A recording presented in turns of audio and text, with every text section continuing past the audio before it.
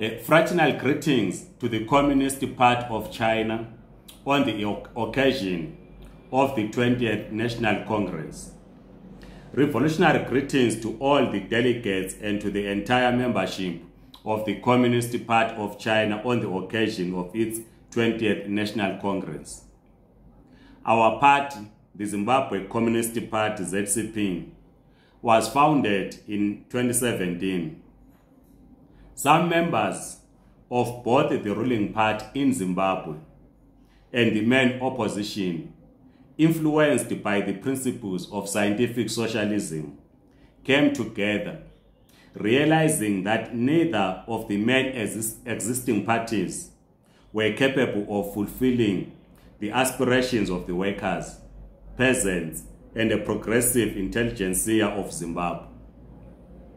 The ZCP believes that our focus should be on the building of a national democratic economy, which will restore what was lost when Zimbabwe was de-industrialized through the disastrous economic structural adjustment program of 1991, instigated by the IMF and the World Bank. The ZCP is utterly opposed to the sanctions first imposed on Zimbabwe in 1999 due to the intervention of the Zimbabwe National Army in the Congo War and strengthened by the strangely named Zimbabwe Democracy and Economic Recovery Act, ZIDERA, imposed by the USA Congress.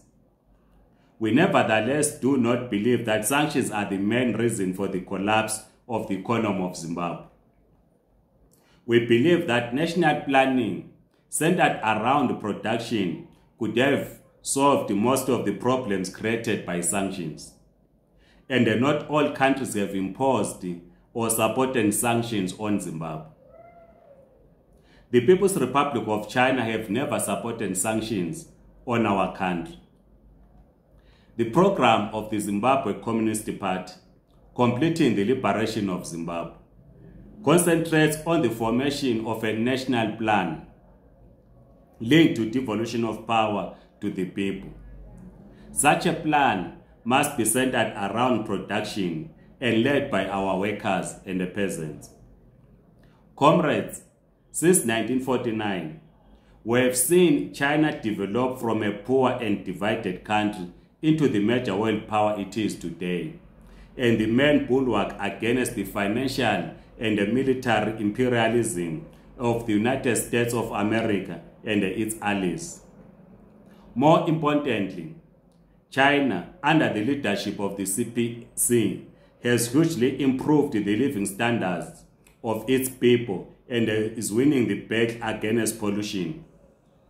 China is becoming a green and pleasant land. When we explain to ordinary people why China is overtaking the United States of America will tell them that while the USA has an economy based on money, the economy of China is based on production. And that money without production becomes worthless.